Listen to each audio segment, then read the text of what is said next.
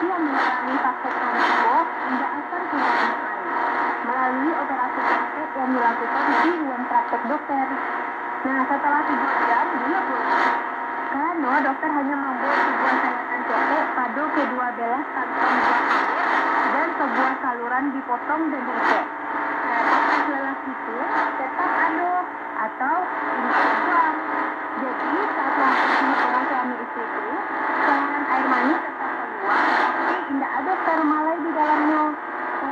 nasi dan Ibu Sinta masih muda dan baru punya si anak, maka saran boleh bisa Ibu Sinta menggunakan itu, atau dapat menggunakan korban.